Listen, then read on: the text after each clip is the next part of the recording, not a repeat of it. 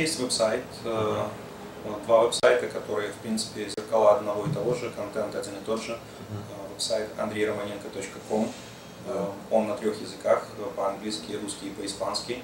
И второй веб-сайт romanenko.com, это язык, на русском языке веб-сайт исключительно для русскоязычной аудитории. Вот, естественно, на второй веб-сайт я выкладываю статьи, которые я не перевожу на английский и испанский, они могут быть неинтересны. А там есть, э, где вопрос задать или только по e Вы, конечно, можете задать вопрос э, в любом из комментариев э, к любой статье, и я постараюсь ответить. Uh-huh. Но если человек хочет, чтобы проанализировали его конкретную ситуацию и спросить, есть ли у него кейс, как ему могут помочь, лучше все-таки написать сообщение. Я принял в виду, что, может быть, у вас накапливается какая-то ну, база знаний, там, да, допустим, если есть часто задаваемые вопросы, допустим, там какие-то, и вы можете отвечать публично, чтобы другие люди могли почитать, прежде чем ваше время отнимать и один, одно и то же сто раз спрашивать. Михаил, база, а, база знаний накапливается постоянно, и я ее выкладываю в виде статей, uh-huh. а не комментариев. Я считаю, что если а, есть какие-то вопросы, которые мне задают постоянно, естественно, лучше их описать, на них ответить и отправить человека в первую очередь почитать эти статьи, прежде чем задавать свои конкретные вопросы. Комментарии, я думаю, они не так полезны, потому что рассеивается внимание человека читающего. Да. Он сначала прочитает статью, а дальше лазить рыться в комментариях, половина из которых э, не будут э, относиться вообще к его делу, по-моему, не стоит. Вот такой вопрос у нас есть. На, на самом деле неплохой вопрос. Я вижу очень много, знаете, у меня внутри все замирает. Вот когда говорят, ой, да зачем там вообще адвокат, да вот у нас там пацаны там сами подавали, там все получили. Я думаю, ой, думаю, мама родная, он потом пойдет к адвокату, только уже с испорченным кейсом, когда уже спасти там мало чего можно. И, ну вот, с вашей точки зрения, как бы, да, я, я просто как-то человек со стороны, но вы изнутри. Э, вот тут вопрос такой, я зачитаю. Что может сделать иммиграционный адвокат? Может, они про чудеса какие-то спрашивают, я не знаю. В чем заключается его работа? Нет, ну в чем работа? Какие гарантии Вопрос о гарантиях интересный, да, там, вот, а вы гарантируете там, получение политического убежища? Я не знаю, что они имеют в виду. Э, какие гарантии? Ну, сколько стоят услуги, мы поговорили. Но вот все-таки э, в, в чем ну, в, чем, в чем работа и если не гарантии, то, скажем, насколько вырастает вероятность и, там, и так далее. Я думаю, что вопрос о том, скажем, деньги, которые платятся, вот эти 6-7 тысяч, да, э, что ты получаешь взамен? Гру- грубо говоря, да, то есть вот я понимаю, что есть люди с юридическим образованием, которые, может быть, сами могли бы очень много чего сделать. Я читал несколько историй и даже книжку один написал, вот он юрист, написал книжку, как получать убежище, там с историями, но вот российский юрист, но он здесь сам получал, это на основании своего опыта и изучения. Он написал такую книжку для людей, которые на русском языке, там, ну, ну как-то сказать, вот, общее понимание. Я просто чего хочу сказать, вот изнутри. Вот вы специалист, вы э, там продаете, можно сказать, экспертизу в чем-то, правильно? Ваша работа состоит.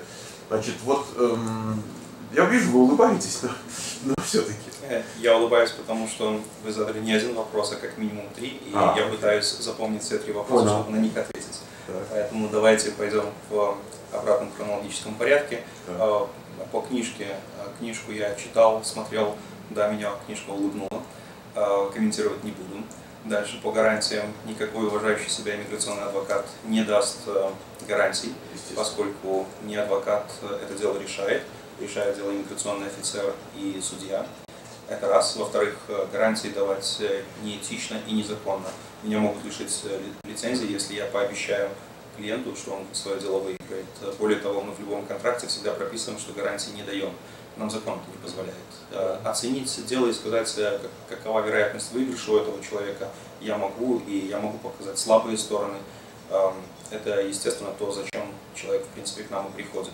А по тому, кто может что сделать сам и, и как, э, мы с вами в начале разговора говорили, да. есть люди очень хорошо образованные, подкованные, и, может быть, им адвокат и не нужен, а есть люди, которые и по-английски не говорят, и образования высшего не имеют. Э, а, их, возможно, а, очень сильно преследовали в их стране, чтобы подать это дело, и офицер это дело рассмотрел и дал положительный ответ, помощь адвоката просто необходима.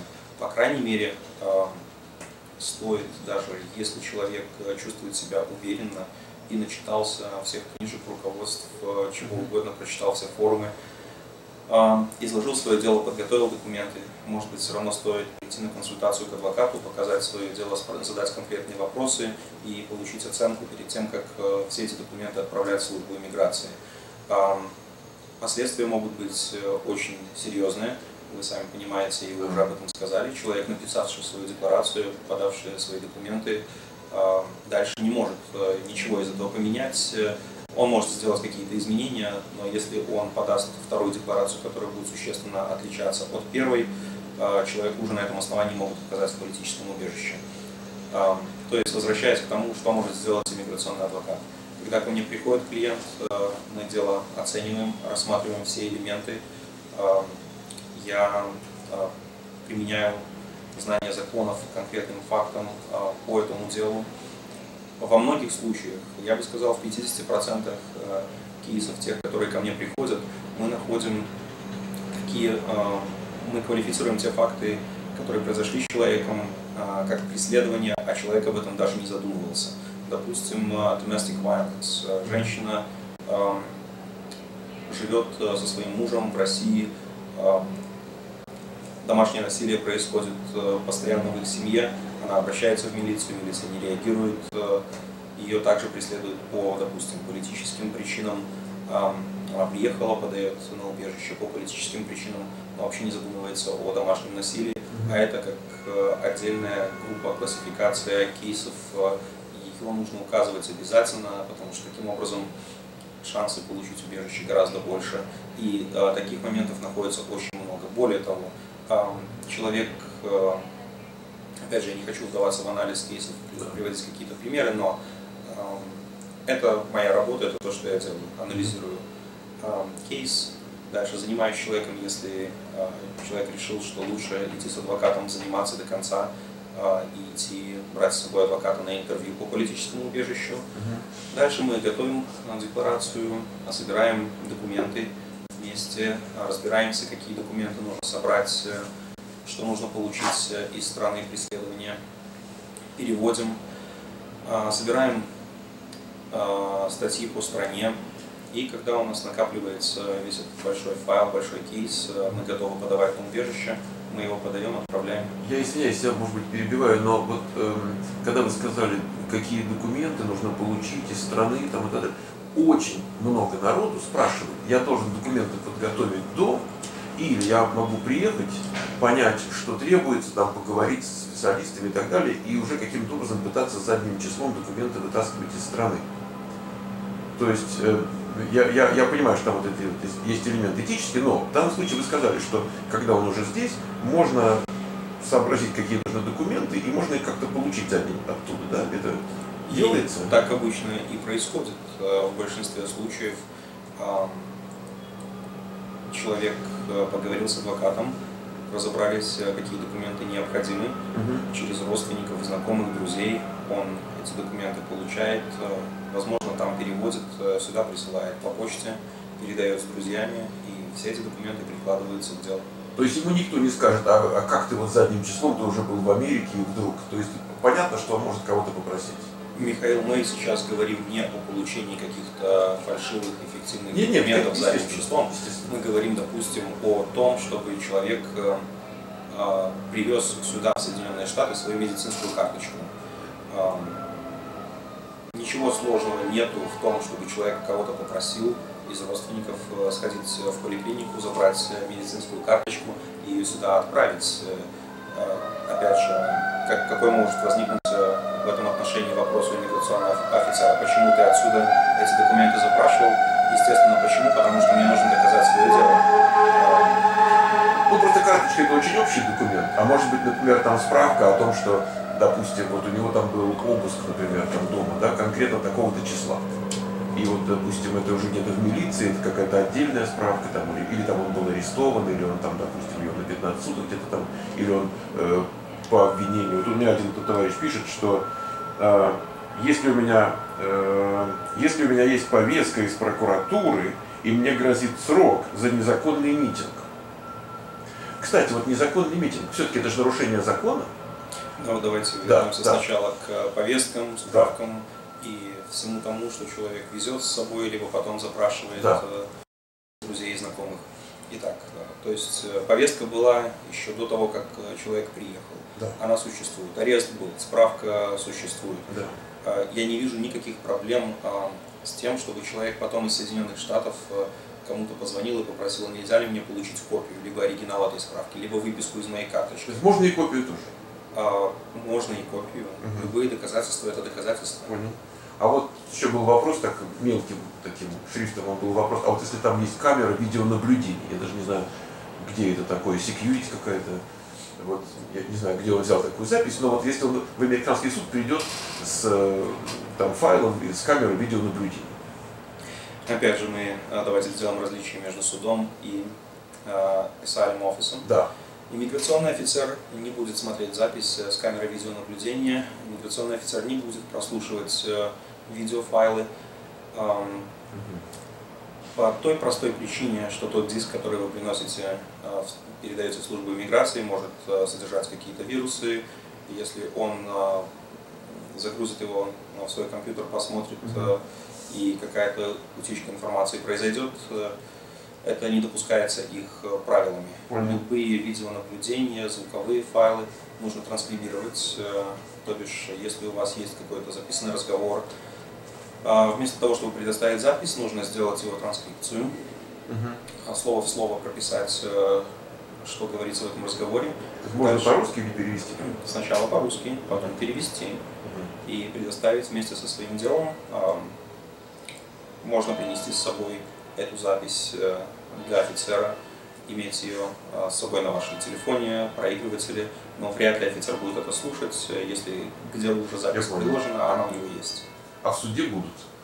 А, в суде, в иммиграционном у меня лично не было такого опыта, чтобы человек приносил видеопроигрыватель, mm либо просил судью посмотреть камеру видеонаблюдения. Mm Давайте такой теперь вопрос. Вот спрашивают, какие бенефиты может получить после, человек после получения политического убежища. Я на самом деле очень часто встречаюсь с таким мнением, что если человек в США приехал и ему статус беженца дали, то он теперь как в коммунизм должен попасть, и его там со всех сторон должны обеспечить. И он говорит, а мне вот что мне дадут? Дадут ли мне жилье? Говорит он. Дадут ли мне там бесплатную медицинскую страховку? Дадут ли мне работу? Детский садик для детей. Да, мне задают все те же вопросы. Так. И эм, Asylum Office Сан-Франциско проводит э, семинары для тех, кто получил политическое убежище. Uh-huh. Если не ошибаюсь, каждую неделю они проходят. Э, я могу посмотреть эту информацию и выложить себе на веб-сайт. Uh-huh. Э, но вообще эта информация есть и в иммиграционном суде. Э, в комнате 800 на восьмом этаже 100 Montgomery в Сан-Франциско. Uh-huh. Э, нет, к сожалению, человек не попадает в коммунизм, и детский садик э, для детей не дадут, и бесплатного жилья тоже не будет, э, и э, абсолютно бесплатной медицинской страховки на долгие годы, скорее всего, тоже не будет. Но а, из основных бенефитов, которые человек получит, это будет медицинская страховка на 8 месяцев. А, возможно, медикал, да? А, да, в Калифорнии это медикал, в других штатах называется по-другому. Фудстемпы и какие-то деньги на то, чтобы снять жилье. Но эта программа длится 8 месяцев, на нее нужно подавать сразу с э, того момента, как вы получаете политическое убежище. После этого, если она заканчивается, у человека могут быть другие основания, чтобы получить какие-то бенефиты в стране. Допустим, э, малолетние дети, на которых положена помощь, человек может стать на welfare. Э, в принципе, это вопрос не столько к иммиграционному адвокату, сколько к какому-нибудь социальному работнику. Ну, да а вот такой вопрос, эм, как бы тоже скользкая такая штука получается. Вот приехал человек, да? э, полгода он там, допустим, у него была виза на полгода, допустим, гостевая туристическая. Э, и он там ближе к концу этих, этого полугода он подает э, на политическое убежище, а потом он предстает перед лицом, скажем, иммиграционного офицера или через некоторое время предстает перед лицом судьи. Никто ему не говорит, э, ты расскажи-ка, вот, друг, как ты, не имея разрешения на работу, вот уже год или там полгода живешь в стране? может, ты подрабатываешь где нелегально. Вот не возникает эта тема? Или подразумевается, что все равно жить ему надо, и даже если нелегально, то уже бог с ним? Вот. Тема возникает еще тогда, когда человек подает на политическое убежище. В форме I-589 нужно написать, э, где человек работает, работал в последние пять лет. Да. А, и, естественно, человек должен а, говорить правду и писать правду. Угу. Вот. А, если человек работал без разрешения на работу, нелегально в то время, как он ожидал своего слушания по политическому убежищу, это не будет преградой для его получения политического убежища. А если он, допустим, до подачи, вот первые шесть месяцев, например, пока он тут был по туристической визе, он подрабатывал, да, то это уже как бы препятствие. Михаил, ну, допустим, человек э, просрочил свою визу, свой статус, 6 месяцев прошло, он уже находится нелегально в стране, допустим, больше, чем один день, да. и подает на политическое убежище. Да. Он нарушил миграционное законодательство, да, а, его да. статус закончился, а он здесь э, находится без разрешения. Он приехал по визе B1, B2 и работал, нарушил он свой статус, да. А, препятствует ли это получению убежища? А, убежища? Нет. Uh-huh. Он может подать э, своевременно в течение года с момента въезда и получить свое убежище, если докажет, что его преследовали, будут преследовать э, несмотря на то, что он работал, работает, будет работать, это не важно. То есть, он, то есть ему нет нужды скрывать, что он, например, работал? То есть не... Скрывать э, нет нужды э, никакой. И более того, не рекомендуется скрывать э, да. ни в коем случае. Я почему спрашиваю? Потому что многие спрашивают, говорят, как же так, я приеду, права на работу нет, а как же я буду жить? Ну, ему говорят, ну будешь работать нелегально. Значит, а если я буду работать нелегально, то мне потом, видишь, и откажут в чем-то. То есть получается так, если он не скрывает, что работал нелегально, а все это объясняется тем, что у него не было другого выхода, что он боялся вернуться, что он туда-сюда, вот, ну, то есть как бы в русской вот этой концепции, что да, он вел себя недостаточно кошерно, но у него как бы выхода не было. То, ты, ты, ну, вот, начнем а, с того, что в вашем примере этот человек э, нарушает иммиграционное законодательство еще до того, как он в страну въехал когда он идет в консульство и получает свою визу, собираясь подавать на политическое убежище в США, он уже нарушает иммиграционный закон. Uh-huh. И дальше он приезжает, работает по визе B1, B2, он еще раз его нарушает, потом он остается дольше 6 месяцев, э, тем самым нарушает иммиграционный закон. А, ну и что? Ни одно из этих оснований не препятствует ему получить э, политическое убежище. И чем больше он нарушений таких совершит, э, это не значит, что они накопятся и в конце концов ему откажут в убежище. Ну, я считаю, что очень важно было это сказать. И очень важно было ребятам это услышать. Потому что действительно это, э, у нас на канале, вот, несмотря на то, что люди там из России, там, из Украины и так далее, очень много законопослушных людей, которые не хотят нарушать законы. Вот, поэтому я считаю, то, что вы сказали, это дорогого стоит, на самом деле, вот это разъяснение, которое было дано. А, ну что же, я думаю, что мы на самом деле а, более-менее вопросы все осветили. И э, если вы не возражаете, мы тогда просто призовем задавать другие вопросы. Может быть, мы там через пару месяцев где-нибудь еще раз соберемся и уже в продление этого пойдем.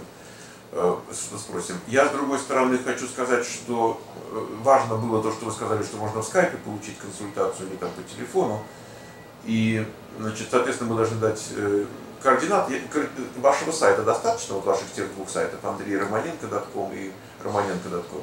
Моих двух сайтов достаточно, я регулярно проверяю свои сообщения, которые я получаю, и по имейлу, и отвечаю на телефонные сообщения. Угу. А, к сожалению, я не успеваю и не могу читать комментарии на YouTube-каналах. Угу. Где-то я участвую в каких-то форумах в интернете, а, оставляю ответы, но а, на все времени не хватает. Поэтому а, обратиться за консультацией, конечно, было бы самым быстрым и надежным способом получить ответы на ваши вопросы. Ну, отлично. Во всяком случае, мы дали путь.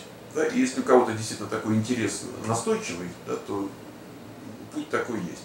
Э, отвечать на детали, очень много вопросов, а у меня вот такая ситуация. И, и мне, с одной стороны, как бы не хочется сказать человеку, что мы не можем ответить на этот вопрос, но с другой стороны, мы не можем ответить на этот вопрос, потому что мы не знаем всех деталей.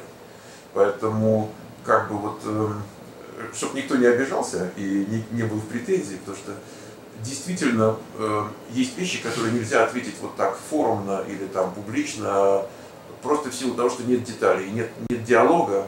И вот этот диалог, он на самом деле все и решает. Вот то, что вы сказали про то, что люди даже не, не, не представляют сами, что вот есть какие-то факторы, которые могут, может, могут войти в кейс очень успешно. Они не знают, но если с ними не поговорить, мы тоже не узнаем. Поэтому вот, вот эта часть тоже очень важна. Я вижу очень много людей, которые сами берутся судить, вот хороший кейс или нету кейса, или еще чего-то. И я им всегда говорю, послушай, при всем уважении как бы, и понимании, что тебе со специалистом-то не поговорить, потому что есть вещи, которые мы, ну, ну, ты не знаешь, и я не знаю, и на форуме никто не знает, а может есть кто-то, кто знает, да и не скажет, и я не знаю, что ты не можешь зависеть вот от, от чего-то, что подвисло в воздухе. А еще хуже, Михаил, это когда кто-то, кто не знает, э, сделает вид, что знает и ответит на форуме, а человек понадеется э, и ему в чем-то откажут. А такого я вижу очень много, и на форумах особенно. Информации сейчас очень много, волосы встают дыбом от той информации, которую я нахожу. Бывает, э, не все откорректируешь, бывает, да. просто видишь каких-то повторных людей, отвечающих повторно и неправильно, мошенников, Э, занимается и пользуется людьми несведущими, э, приглашают на консультации э, тот, в, то, в то время, как они не имеют права вообще такие консультации давать. Такой вопрос я вам задам. Вот я эм, кое-что наблюдаю в сети, в частности на YouTube кое-что наблюдаю. Вот я понимаю, что вы как адвокат со всеми требованиями там, лицензионными, вы не можете сказать человеку, значит так, э, у тебя хороший кейс, я вижу, значит, э, иди получай туристическую визу, там сейчас приезжаешь, мы тебе делаем. Значит, это, это за пределами того, что вы можете себе позволить. Значит, я вижу другую ситуацию. Я вижу ситуацию, когда есть адвокат. У адвоката есть некий маркетолог. Он, он вообще никто, ну вот просто человек. И маркетолог, у него мощная компания на YouTube, вот там все, вот он, он говорит, я, я тебе, у нас большая юридическая контора, я их э, представляю как бы интересы в той или иной форме, я им я вас посылаю к грамотным людям, значит, я вам сделаю билеты, значит, там тебе политическое убежище, я тебя сведу с нужными людьми, я тебе сейчас пришлю приглашение на конференцию, мы тебя привезем вот туда-сюда, значит, и дальше ты пойдешь. Э, с точки зрения, как бы, я не говорю этики, но я говорю с точки зрения закона и лицензионных требований. Если адвокат пользуется услугами вот такого маркетинга, это как-то его ну, подставляет, или он, он чист в той мере, в какой это не не его организация, и он как бы к ним вот прямого отношения не имеет. Если этот человек работает а, на этого адвоката, они работают в пределах одной фирмы. Нет, нет, разные. Какой-то паралигал. А, вы говорите про какого-то другого отдельного маркетолога. Отдельный маркетолог. А, в Соединенных Штатах это называется немножко иначе, это называется нотарио, нотариус. А, почему? А, потому что в Мексике под словом нотариус занимаются законом адвокаты. Адвокат э, по-испански это нотарио. Э, и такие нотариусы открывают здесь свои конторы и представляются как люди, следующие, знакомые с иммиграционными законами, хотя на самом деле они законов не знают. К ним люди приходят, обращаются, подают какие-то документы, им отказывают, и дальше нотариус отправляет человека к адвокату. А работать с таким нотариусом, адвокату неэтично. Это раз, э, если э, более того неэтично, адвокату и запрещается законом делить э, свою прибыль с человеком, который не является адвокатом. Uh-huh. По законам в штате Калифорния такой адвокат может потерять свою лицензию, если if he shares profit, если он делится своей прибылью. Ну, за маркетинг услуги же можете платить? Понимаете, вы прислали клиента, прислали клиента. Угу. Вот он, он рекламируется на YouTube, у него поток клиентов. Он говорит, ты пойдешь э, к Васе Сидорову, он адвокат, а я тебе сейчас визу сделаю туристическую, и ты к нему идешь. Вы приводите такой borderline кейс, э, да. мне тяжело на него ответить, э, потому что нужно смотреть, во-первых, э, лицензия каждого адвоката зависит от штата. Да. И э, лицензионные требования в Нью-Йорке отличаются от калифорнийских.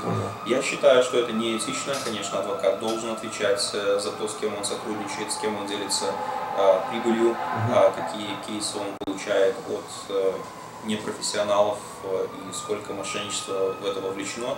Рано или поздно, если такого адвоката э, возьмут, э, возьмется, возьмутся федералы расследовать, uh-huh. и э, окажется, что все его кейсы вот таким образом добытые при, при помощи мошенничества. Не только он потеряет свою лицензию и его посадят в тюрьму, но и все эти кейсы откроют и отправят людей в процесс депортации.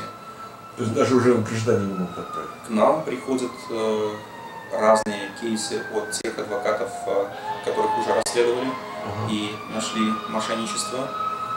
Эм, забирают грин-карты, забирают статус беженца, отправляют э, в процесс депортации. В принципе, да, даже гражданина гражданство могут забрать в том случае, если гражданство было получено мошенническим путем.